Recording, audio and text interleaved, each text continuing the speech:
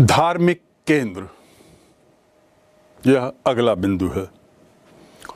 हमने राजकीय केंद्र देखे, उनके बारे में सुना, शाही केंद्र के बारे में सुना, मंदिरों के निर्माण के बारे में कुछ सुना, और अब हम चलते हैं धार्मिक केंद्र, आखिर क्या थे? जैसा कि पहले बताया है कि विजयनगर काल में राजनीतिक, सामाजिक आर्थिक जीवन में धर्म और विभिन्न धार्मिक वर्गों को बहुत ही महत्वपूर्ण स्थान दिया गया। स्थापत्य कला की हमने जितनी बातें की, उसमें बारंबार ये स्पष्ट हो रहा है कि सभी को धर्म की पूर्ण स्वतंत्रता थी और मंदिर निर्माण, चाहे वो छोटे छोटे मंदिर हों, चाहे भव्य मंदिर हों, या भवनों के निर्माण या फील खाना, इसमें भी अन्य धर्म के स्थापत्य के नमूनों को समायोजित किया गया। सो ये बात स्पष्ट है कि धार्मिक केंद्र भी तत्कालीन समाज में बहुत महत्वपूर्ण स्थान रखे होंगे और इसके साथ ही ये भी परिलक्षित होता है इन विदेशी यात्रियों के विवरणों से कि धर्म के कठोर पालन के सिद्धांत का बड़ी सख्ती से पालन किया जाता था। यानी धर्म को धर्म की दृष्टि से देखा जाता था और उसके पालन अनुपालन में कोई कोताही नहीं बरती जाती थी। यहाँ की ये शायद प्रमुख विशेषता थी कि धर्म को सख्ती से उसको लागू किया जाए, उसका पालन किया जाए, अपने अपने धर्मों में। राजा जो थे, वे अपने को स्वयं को ईश्वर का प्रतिनिधि मानते थे। और उसके साथ ही साथ जो मंदिर वगैरह जो बनाए गए, जो भव्य मंदिर या छोटे छोटे मंदिर बनाए गए, वे शायद मंदिर एक तरीके से भगवान तक पहुँचने का ज़रिया माना गया। मंदिरों को। तो इस प्रकार हम सोच सकते हैं, हम समझ सकते हैं कि तत्कालीन समाज में धार्मिक केंद्र कितने महत्वपूर्ण रहे होंगे। विजयनगर शासन में धार्मिक केंद्रों की महत्ता यहीं समाप्त नहीं होती। वास्तव में देखा जाए, आगे भी हम जानेंगे कि धर्म और विजयनगर के शासकों का संबंध एक तरीके से अपरिहार्य था। शायद आवश्यक भी था। फ़िलहाल, हम चलते हैं उसके अगले बिंदु पर, वह है राजधानी का चयन। आखिर, ऐसे क्या कारण थे? क्या बातें थी जिसको लेकर ये तय किया गया कि हम्पी उनकी राजधानी बनेगी। राजधानी बनने के कई कारण सामान्यतः हम देखते हैं। उसकी स्थिति भौगोलिक स्थिति उसकी जलवायु, जनसंख्या और आदि आदि अन्य बातें। लेकिन यहाँ एक विशेष बात है कि विजयनगर के शासकों ने हम्पी का जो चयन किया, संभवतः उसका कारण था कि यहाँ पर वीरूपाक्ष मंदिर और चंपा देवी मंदिरों के अस्तित्व थे। यानी ये मंदिर यहाँ पर स्थित थे वीरूपक्ष मंदिर और उसके साथ ही चंपा देवी मंदिर। इसके यहाँ पर रहने के कारण इसे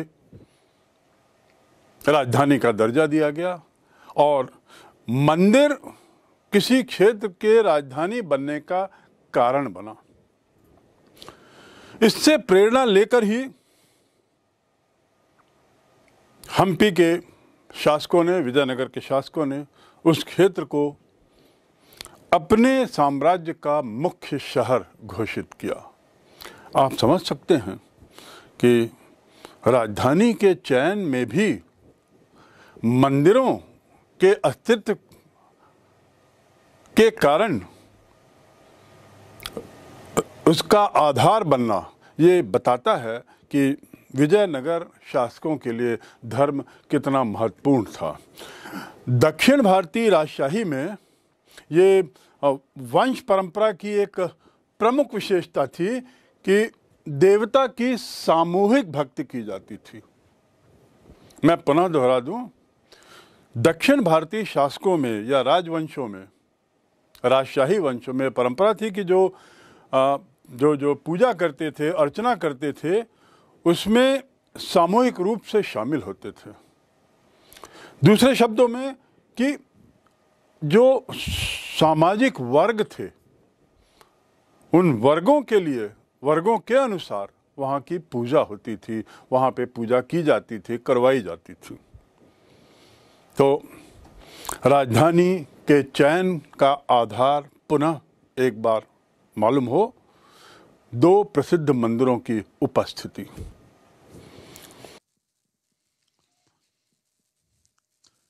इस प्रकार मंदिरों की किसी देवता विशेष की पूजा करने वाले वर्गों के सामाजिक अंतरण की रूपरेखा या निर्धारण में बहुत महत्वपूर्ण भूमिका थी। संगम वंश के प्रारंभिक शासक शैव मतावलंबी थे। आपको याद होगा कि दक्षिण भारत में शैव परंपरा और फिर वैष्णव परंपरा, ये दोनों प्रचलित थी। तो आपको मालूम होना चाहिए कि ये लोग जो थे, विजयनगर के शासक, संगम शासक, मूल रूप से शैव मतावलंबी थे और उन्होंने विजयनगर के विरूपाक्ष मंदिर का निर्माण कराया। विजयनगर में जो बहुत प्रसिद्ध है विरूपाक्ष मंदिर, उसका पुनर्निर्माण कराया। सुलु वंश मुख्य रूप से वैष्णव मतावलंबी थे। यानी विजयनगर में ही अलग अलग वंश अलग अलग समुदाय के थे। सुलु वंश वैष्णव मत के थे और इन्होंने अपने शासन काल में शैव और वैष्णव दोनों मंदिरों को संरक्षण प्रदान किया। मतलब ये लोग एक तरीके से सभी धर्मों के प्रति समान थे। तुलु वंश शासक कृष्णदेव राय ने वैष्णव मंदिर बनाया कृष्णा स्वामी मंदिर का निर्माण कराया और साथ ही ऐसे अनोक उदाहरण हैं जहाँ उसने शिव मंदिरों को भी अनुदान दिया। इसी प्रकार जो चौथा वंश है, अंतिम वंश अरविदु राजाओं का, इन्होंने भी वैष्णव मंदिरों को अनेकों उपहार दिए।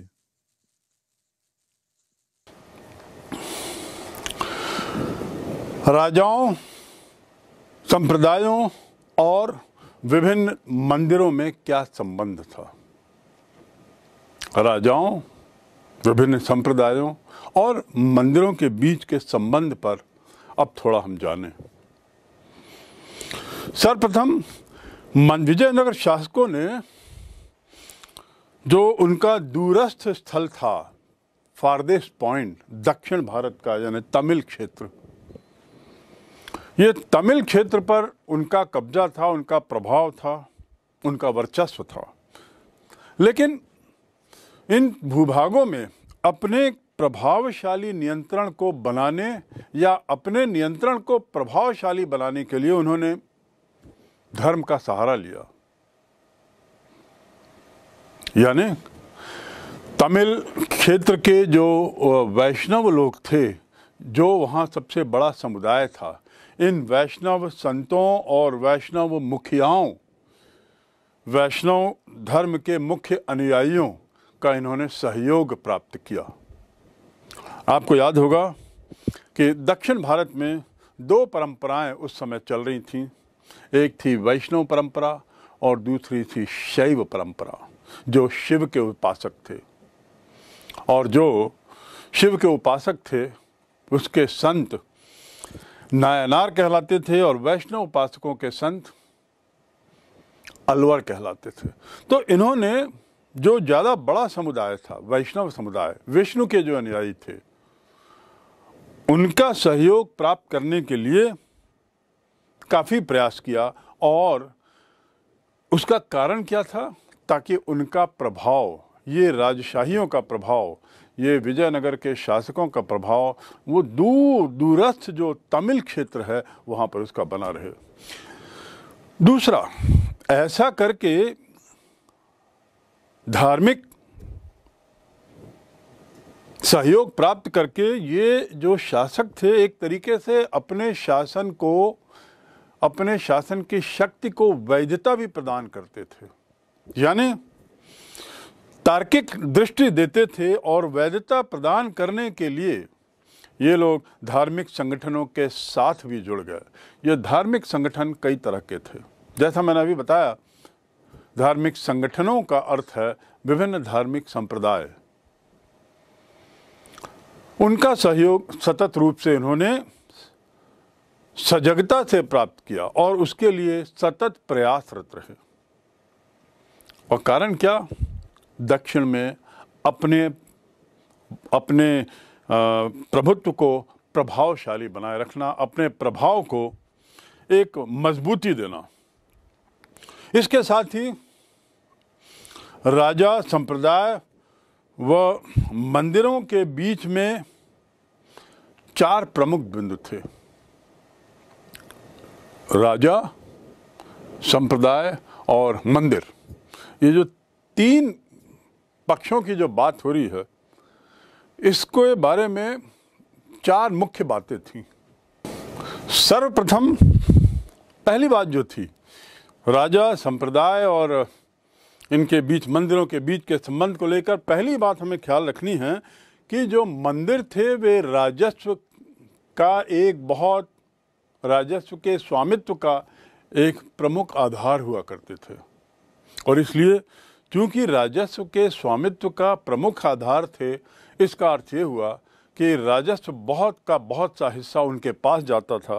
यानी आर्थिक रूप से ये मंदिर बहुत संपन्न थे और इनकी यही संपन्नता शायद उनके और राजाओं के बीच में अच्छे संबंधों का कारण बनी।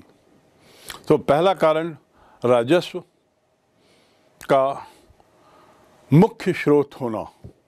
मंदिरों का। दूसरा कारण, जो संप्रदाय मुखिया थे, विभिन्न संप्रदायों के जो मुखिया हुआ करते थे, ये मुखिया एक तरीके से मंदिर और राजाओं के बीच एक लिंक का काम करते थे, मध्यस्थ का काम करते थे। तो ये दूसरा महत्वपूर्ण बिंदु है, ये तीनों के बीच के संबंधों को समझने का कि जहाँ तक मंदिरों की बात है, राजस्व के लिए महत्वपूर्ण थे। संप्रदाय की बात है तो संप्रदायों के समर्थन के लिए ये राजा लोग, तत्कालीन शासक, संप्रदाय के मुखियाओं को मध्यस्थ के रूप में देखते थे। किनके बीच के मध्यस्थ? राजाओं और मंदिरों के बीच की मध्यस्थता के लिए। तीसरा, जहाँ तक मंदिरों की बात है मंदिरों की देख रेख रख रखाव उसका मेंटेनेंस करने के लिए सांप्रदायिक वर्ग थे। तो इस प्रकार हर मंदिर किसी न किसी वर्ग से सांप्रदाय किसी न किसी संप्रदाय से जुड़ा हुआ था। किसी न किसी धार्मिक गुट से जुड़ा हुआ था और जिनके ऊपर यह अहम ज़िम्मेदारी थी कि वे अपने उस मंदिर को, उसको देखभाल करें उसका रख रखाव करें और साथ ही उसके वार्धक्य में मदद करें। लेकिन यदि मंदिरों को लेकर कुछ विवाद होता था तो उसमें इन संप्रदायों का कोई रोल नहीं होता था। मंदिर के से जुड़े हुए किसी भी तरह के विवाद में, चाहे वो राजस्व का हो, चाहे दान का हो, चाहे कई तरह के विवाद हो सकते हैं। इन विवादों के मामले में संप्रदायों का कोई विशेष हस्तक्षेप नहीं था। विवादों के लिए मामले राजा के पास ही जाते थे और विवादों को सुलझाने का जो जिम्मा था, वो राजाओं का एक तरीके से होता था। यानी राजा मंदिरों के मामले में दखल भी दे सकते थे। और विवाद तो एक सतत प्रक्रिया है। किसी किसी न किसी बात को लेकर विवाद होते थे तो राजाओं का दखल एक तरीके से नियमित रूप से मंदिरों के मामले में बना होता था। लेकिन अब चौथा बिंदु जो आपको समझना है, वो ये है कि ये जो विवाद थे, जो विवाद होते थे मंदिरों को लेकर, इन विवादों को राजा तो सुलझाते थे। राजाओं का ये एक तरीके से जिम्मा था कि इन विवादों को सुलझाया जाए। लेकिन यह जिम्मा वे वैधानिक दृष्टि से नहीं सुलझाते थे। दूसरे शब्दों में, इसके लिए कोई ऐसी प्रक्रिया नहीं थी, कानूनी प्रक्रिया, या राजाओं का ये कोई ऐसा संवैधानिक दायित्व नहीं था कि वे इस मामलों को सुलझाएँ। ये तो इसलिए सुलझाते थे, इसलिए मंदिर के मामले में दखल देते थे, ताकि प्रशासनिक व्यवस्था बनी रहे। तो इस प्रकार हम ये समझ सकते हैं कि प्रशासनिक व्यवस्था को बनाए रखने के लिए, राजाओं के लिए ये अपरिहार्य बना दिया गया था कि वे मंदिरों के विवादों में दखल दें और उसे सुलझाएँ। यद्यपि उनकी यह स्थिति मंदिर विवाद में वैधानिक स्थिति नहीं थी, कानूनी स्तर पर नहीं थी, ये तो केवल प्रशासनिक व्यवस्था को बनाए रखने के लिए। ये प्रशासनिक व्यवस्था से अर्थ है कि यदि मंदिरों का विवाद नहीं सुलझता है, किसी भी तरह का विवाद, यहाँ पर हम मंदिरों की बात कर रहे हैं तो उसका असर संप्रदाय पे पड़ता है, वहाँ के क्षेत्र की शांति पर पड़ता है, उस क्षेत्र के लॉ एंड ऑर्डर की स्थिति पे पड़ता है, कानूनी व्यवस्था पे पड़ता है, और ये सब बातें तो अंततः प्रशासन की हैं, और प्रशासन का मुखिया तो निश्चित रूप से राजा ही है। इस प्रकार हम ये देखते हैं, इन चार बिंदुओं से हम समझ सकते हैं कि कैसे राजा, समुदाय, संप्रदाय और मंदिर एक दूसरे के पूरक थे और एक दूसरे के पोषक भी हम कह सकते हैं। तीनों एक दूसरे को संभाल के रखते थे। मंदिर राजस्व देकर राजा को, राजा मंदिरों की समस्याएँ सुलझाते हुए और संप्रदाय मंदिरों की देखभाल करके, मंदिरों की व्यवस्था को बनाए रखने के लिए उसकी साफ़ सफ़ाई आदि से। 1350 से लेकर 1650 यानी 300 वर्ष, इन 300 वर्षों में इतने मंदिरों का निर्माण हुआ दक्षिण भारत में, जिसकी असंख्या, जिसकी संख्या असीमित है। ये मंदिरों का निर्माण इस बात का परिचायक है कि मंदिर कितने अहम थे तत्कालीन समाज में। और धार्मिक व्यवस्था धार्मिक व्यवस्था कितनी महत्वपूर्ण थी उस समय के शासन के लिए, उस समय के शासकों के लिए। यहाँ तक कि मंदिर को देखकर विजयनगर का चयन हुआ, राजधानी का, हम्पी का। मंदिरों के कारण या धर्म के कारण दक्षिण भारत पे प्रभाव बढ़ाने में इन शासकों को मदद मिलेगी, ऐसा इन शासकों का मानना था। तो आप समझ सकते हैं मंदिरों की महत्ता।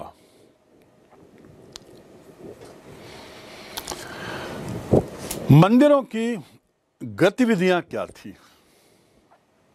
धार्मिक केंद्र तो थे, राजाओं के साथ इनका संबंध था, साथ ही ये स्वयं राजस्व के एक बहुत बड़ा एक स्रोत थे।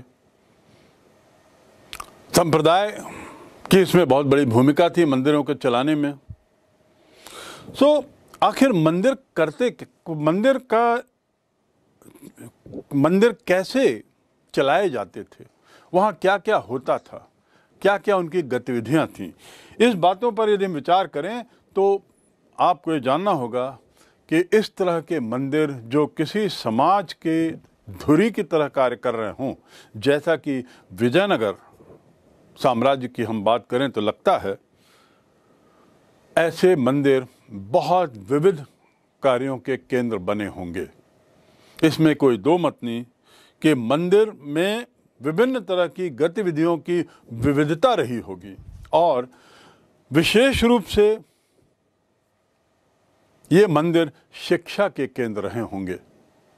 क्योंकि तत्कालीन समाज में जो विदेश से यात्री आए, शिक्षा के नाम से कुछ अलग संस्थाएँ हों, इसका कोई विशेष विवरण नहीं मिलता है। लेकिन मंदिरों की महत्ता को देखते हुए ये आभास ज़रूर होता है उनके विवरणों से कि मंदिर केवल विविधता या विविध गतिविधियों के ही केंद्र नहीं रहे होंगे, बल्कि उसमें शिक्षा का स्थान अहम रहा होगा। चाहे वह धार्मिक गतिविधियाँ हों चाहे सामाजिक गतिविधियाँ हों राजनैतिक गतिविधियाँ उसके बाद हम्म, शिक्षा संबंधी गतिविधियाँ अन्य आर्थिक गतिविधियाँ ये सब वहाँ पे चलती थीं। और इस प्रकार जो मंदिरों में जो हलचल सतत रूप से बनी रहती थी वास्तव में समाज का केंद्र बन चुके थे। जो मंदिर का जो विशाल भू स्वामित्व और बैंकिंग व्यवस्था, आखिर हमने जैसे देखा पूर्व में भी कि मंदिर विशाल ही नहीं थे, बल्कि मंदिरों को जो निर्मित किया गया, वह विशाल भूमि में किया जाता था और बहुत बार बारंबार राजाओं ने, व्यापारियों ने, समुदाय ने, संप्रदाय ने, कुछ अन्य वर्गों ने समय समय पर मंदिरों को दान दिया था, जो उस समय की एक प्रथा थी। शासक मंदिरों के निर्माण, मरम्मत व रख रखाव को अपना एक बहुत पवित्र धार्मिक कर्तव्य समझते थे। इसीलिए विजयनगर साम्राज्य में मंदिर महत्वपूर्ण धार्मिक स्थल, सामाजिक स्थल, सांस्कृतिक केंद्र और आर्थिक केंद्र के रूप में विकसित हुए। विजयनगर साम्राज्य के काल में मंदिरों के पास बड़ी विस्तृत भूमि हो गई थी। विशाल मंदिरों में पूजे जाने वाले देवी देवताओं को सैकड़ों गाँव अनुदान में दिए गए। देवदान ग्रामों की आय को मंदिर की विभिन्न गतियों में खर्च किया जाने लगा और उसमें किया जाता था। इससे धार्मिक कर्मचारियों का पोषण होता था और आनुष्ठानिक कार्यों के लिए जो खाद्य चढ़ावा अथवा अन्य सामग्रियों को खरीदा जाता था, वह इसी दान से संभव था। आनुष्ठानिक प्रयोजनों के लिए राज्य मंदिरों को नगद धर्म दान भी प्रदान करता था। ये राज्यों के द्वारा धार्मिक प्रचार प्रसार के लिए एक बहुत अच्छा कदम था। मंदिरों की सिंचाई संबंधी कार्यों में भी बड़ी महत्वपूर्ण भूमिका होती थी। देवदान भूमि प्राप्त बड़े मंदिर, एक सिंचाई विभाग भी होता था। इन मंदिरों में ये सिंचाई विभाग का काम था कि खेती के लिए सिंचाई के साधनों की व्यवस्था करना। इसका एक अन्य महत्वपूर्ण कार्य था मंदिरों को प्राप्त मुद्रा, अनुदानों का समुचित उपयोग करना। तो बहुत बड़ी भूमि का स्वामित्व मंदिरों को मिला हुआ था। तो यदि हम मंदिरों की गतिविधियों की बात करें तो शिक्षा का केंद्र होने के अलावा निश्चित रूप से इनका एक मुख्य कार्य भू स्वामित्व को बनाए रखना और उसके लिए आवश्यक कार्य करना रहा होगा। इसके साथ ही ये लोग बैंकिंग भी करते थे।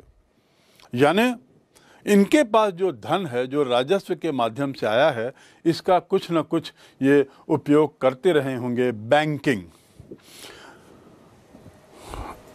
विभिन्न प्रयोजन के लिए, विभिन्न आयोजन के लिए समय समय पर कर्ज देते थे।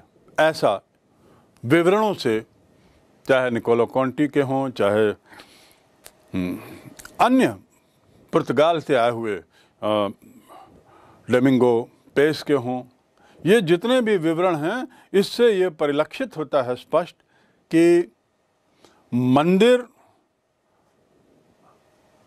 अपने धन से लोगों को कर्ज भी देता था और उस कर्ज की एवज में वह भूमि रखता था।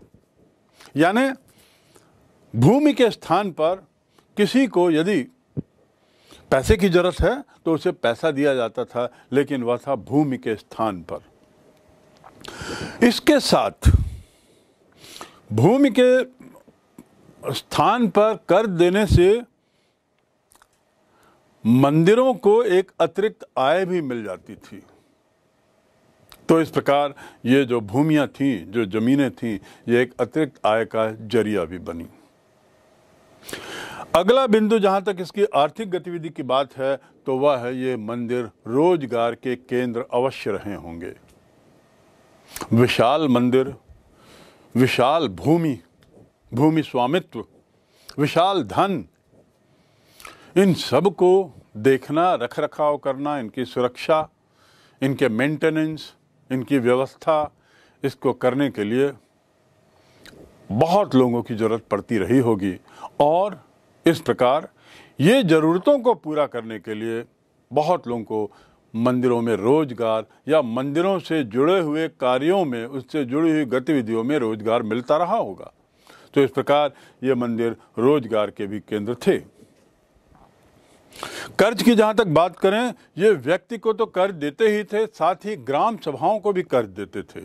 जो तत्कालीन गाँवों में उस समय ग्राम सभाओं की प्रथा थी, वहाँ पे भी ये कर्ज देते थे। भूमि के बदले, जैसा बताया गया, इनके अपने व्यापार संगठन भी थे। यानी ऐसे विशाल मंदिरों का एक अपना अपना एक दल भी, एक अपना गुट भी होता था, जिसका काम था व्यापार से जुड़े रहना। और तत्कालीन व्यापार से इनका सतत संबंध बना रहा। आखिर धन था ही धनाढ़ लोग जुड़े ही थे और विदेशों से हमारा व्यापार काफ़ी होता था। तो मंदिरों ने इसमें भी अपना हाथ डाला और विभिन्न गतिविधियों की यदि बात करें तो उसमें व्यापार भी इनकी गतिविधि का एक हिस्सा था। व्यापार जितना विस्तृत, लाभ उतना ही ज़्यादा। दान से प्राप्त हुई आय राजस्व से प्राप्त हुई आय और इसके साथ ही व्यापार से आय। तो इतनी आय का ये लोग उपयोग जो करते थे, मंदिर के लोग, ये विभिन्न उद्देश्यों में करते थे। और इन उद्देश्यों की यदि बात करें तो हम समझ सकते हैं कि शिक्षा का प्रचार प्रसार, लोगों को कर्ज देना, उनकी आवश्यकताओं को पूर्ति करना मंदिर आदि के रख रखाव का खर्च देखना और साथ ही नए नए मंदिर बनाना आदि राजाओं को भी मदद करना। ये इनका उद्देश्य रहा होगा, इनके इनके धन के उपयोग का उद्देश्य। इस प्रकार मंदिर एक आर्थिक केंद्र रहे होंगे, इसमें कोई दो मत नहीं। सामाजिक तो थे ही, सामाजिक केंद्र तो थे ही मंदिर, शिक्षा के केंद्र तो थे ही मंदिर धार्मिक केंद्र अवश्य रहे होंगे, इसमें कोई दो मत नहीं। अब हम देखते हैं कि मंदिर एक आर्थिक केंद्र भी थे, आर्थिक व्यवस्था का केंद्र बिंदु थे। शासकों ने मंदिरों से संबद्ध पूर्वकालिक जो परंपराएँ रही होंगी, पहले जो परंपराएँ चलती होंगी, उसको मात्र अपनाया ही नहीं। बल्कि उसको नवीन रूप भी दिया। और नवीन रूप ही नहीं दिया उसको और विकसित किया। उसमें नवीनता प्रदान की और नवीनता के साथ साथ इन परंपराओं का मंदिरों की परंपराओं का मंदिरों के आ, का जो अपनी शैली है उसको विस्तृत करने में इन शासकों ने बहुत योगदान दिया होगा।